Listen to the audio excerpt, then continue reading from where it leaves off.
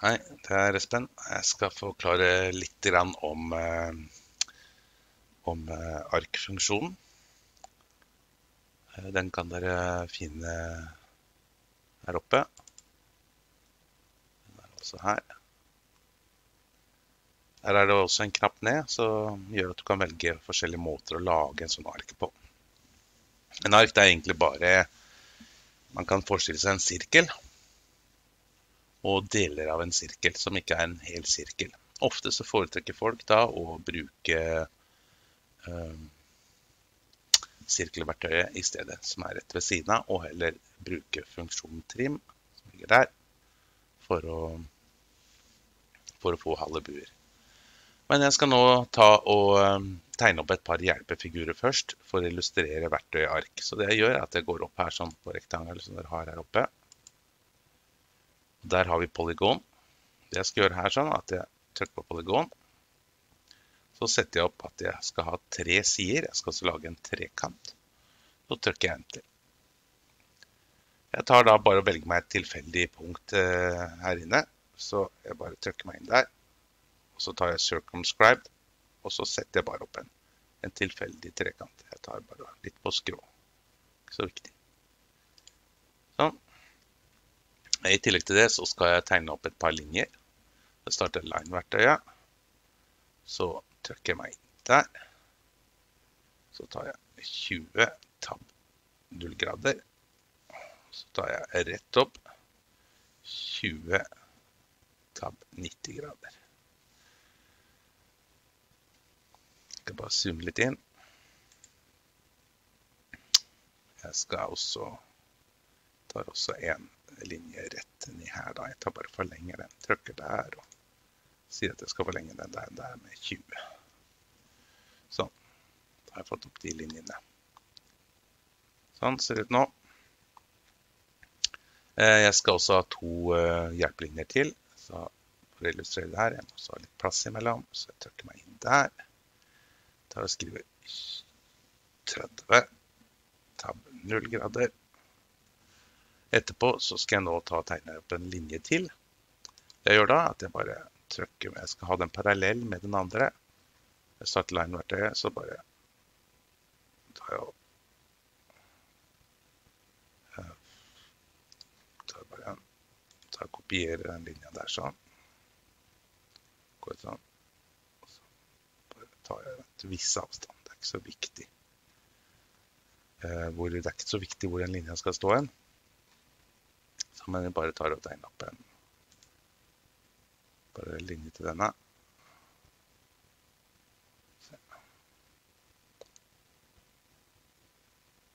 Der kommer den.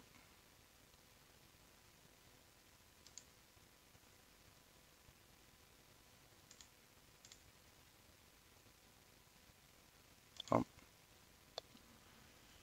Bare lage en parallell linje som skal bruke senere. Eh, jeg skal starte nå arkverktøyet her. Jeg skal nå velge den som heter trepunkts, og det er derfor jeg på en måte laget den rektangelen. Hvis jeg tar en trepunkt, så kan jeg her sånn velge å lage en sirkel. Det skal være litt oppsvar her sånn at den sirkelen blir dannet ut ifra hvor jeg starter. Og man går altså, når man danner en ark, så går man altså mot klokka. Det betyr at hvis jeg for eksempel trykker der, og så der, og så ned der, så ser jeg at jeg får laga en halvbue mellom de tre punktene mot klokka. Så det er altså startpunktet ditt, og så tar du midtpunktet, og så tar du sluttpunktet til slutt. Det er det du egentlig gjør. Jeg kunne f.eks. også tatt eh, samme verktøyet, og så kunne jeg tatt f.eks. derifra til ditt, og så ned dit, og lage en bue. Så den er veldig grei å bruke hvis du har tre punkter og du skal ha en eh, bue imellom de linjene. Eh, vi har et par andre verktøy her. Vi har eh, det som heter Start, Center og End. Den skal jeg bruke nå på de andre linjene jeg tegner her. Så hvis vi tar den som heter Start, Center og End,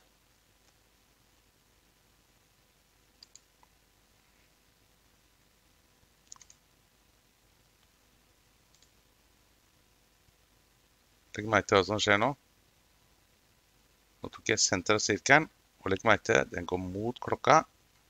Så kan du velge N der, eksempel. Eh, hvis jeg da hadde valgt motsatt vei, og startet for eksempel her nede, så valgte senter der, selvfølgelig.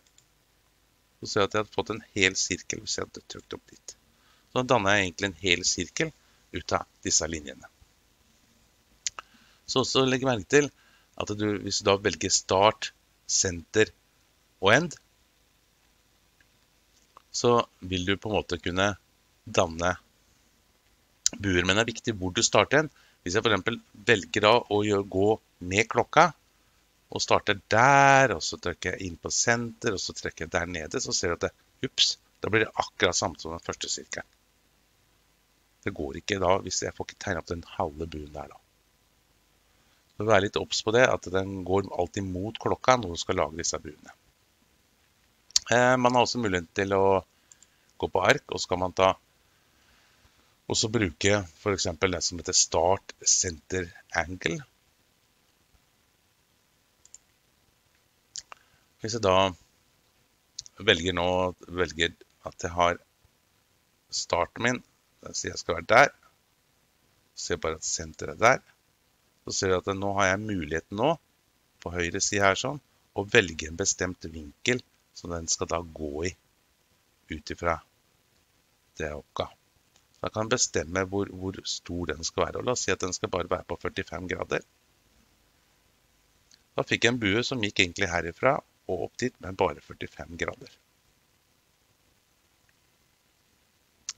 Ehm, vi har eh, videre andre muligheter. Vi har eh, eh, det som heter start, senter og lengt. Det er sånn. Det jeg må gjøre da, er at jeg må velge startpunktet, og så velger jeg midtpunktet for den sirkelen. Og så velger jeg da lengden den skal. Den går på start, senter, lengt. Da ser jeg at jeg starter da, ja, et tilfeldig sted der. Velger, også velger jeg etterpå på skrått opp.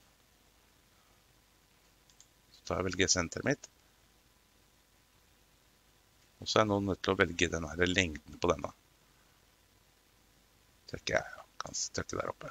Den lengden jeg har nå, oppgitt, det er den lengden som går fra det punktet der oppe til det punktet der. Den går på measure, så er det her sånn, derifra til ditt, så er det den lengden som du oppgir til slutt. Allikevel så vil senteret av sirkelen den ligger altså Hvis jeg bare starter lineverktøy, da. Den ligger der, sånn, som jeg valgte i stad. Har også fått en halvbue som jeg kan tegne opp med line på den måten der, sånn. Så er det lengden fra det punktet der og bort dit er den siste lengden man oppgir. Um, vi har et par andre verktøy her. Vi har eh, start, eh, end og angle, som er egentlig mye av den samme som vi har her oppe. Det er ingen vits å gå gjennom. Vi har også start, end, direction. La oss si at jeg tar start, end, direction her sånn. Og la oss se på de linjene jeg har her sånn. Start, end, og så hvis jeg da tar null grader rett ut der sånn, jeg kan ta mindre. Du ser at den eh, eh, vinkelen oppi her sånn, det er ut ifra en bestemt det er tangering til startpunktet mitt. Legg merke til det. Her sånn. Jeg kan sette det her sånn, men det, det er ingen vits. Da blir det bare rett linje. Se her sånn. Etter hvert jeg bøyer meg ned nå, og ser at jeg kan for eksempel, la oss si jeg setter 0 grader, da. Og ser at jeg får en flott, fin bue her sånn. Og kan være aktuelt hvis du f.eks. skal tegne en slisse, så kan det være aktuelt. La oss prøve den en gang til. Kan også gjøre det på andre sida her, sånn, men da må jeg passe på å starte oppe. Dere må huske på hvilken retning det går i. Og her sånn kan gjøre akkurat det samme, men i dette tilfellet er jeg nå nødt til å sette 180 grader. Da ser at jeg får en perfekt slisse her sånn. Eh, hvis man begynner å tegne feil vei, og så hvis jeg starter å tegne her og opp dit, så ser du at den ville bua seg feil vei i forhold til hva den skulle. Så Det lønner seg å starte altså og tenke at du skal tegne den opp alltid mot klokka. Ikke med klokka. Mot klokka må du gå. Så her sånn så ser du at den, den eh, går i gæren retning.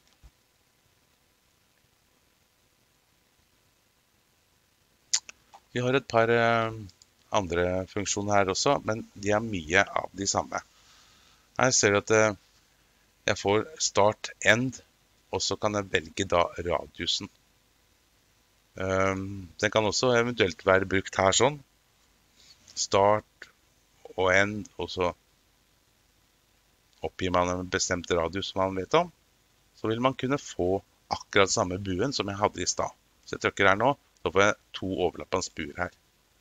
Jeg kan gjøre det, bare bevise det ved å trykke den ene ut her sånn, og se at det var to stykker nå oppå hverandre, og de var helt like kan da ta, du kan liksom ta start, end og radiusen. Så trykker jeg meg bare inn på midtpunktet som var på den forrige nå. da, Og da får jeg en eh, bue som er akkurat nøyaktig lik. Så det er bare at du oppgir da hvor du skal starte, hvor du skal slutte, og den radiusen den skal ha.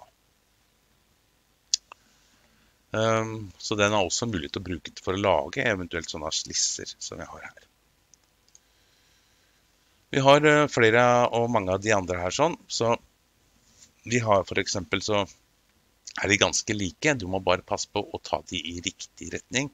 Og prøve å finne ut når tid du ønsker å bruke de, og litt avhengig av hva slags informasjon du har. Vi har også den som heter 'continue' her sånn. Og hvis jeg trykker på den som heter Ja, hvis jeg tar nå tar bort den der der. Skal starte med en eh, Ja, hvis jeg bare starter med en ark, da. Skal vi se Jeg tar uh, startsenteren. tar jeg.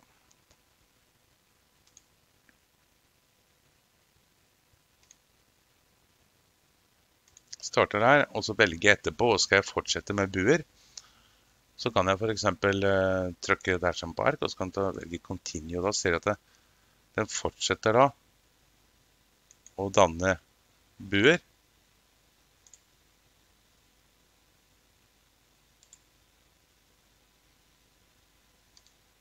Kan også stenge den igjen sånn. Så har du laga en klovnemunn f.eks. Og sånn kan den gå rundt, og så kan man fortsette med å kjøre flere arker etter hverandre.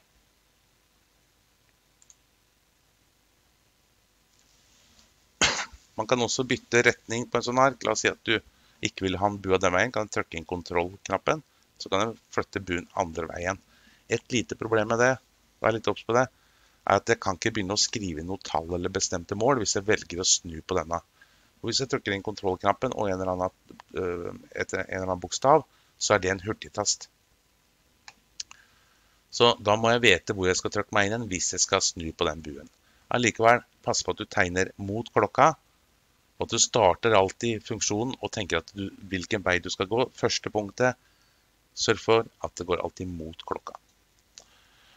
Det var litt av mark. Eh, hvis ikke du klarer å takle et ark, så kan du heller forsøke med sirkel og bruke trimfunksjonen for eventuelt å fjerne eh, objekter. Takk for nå.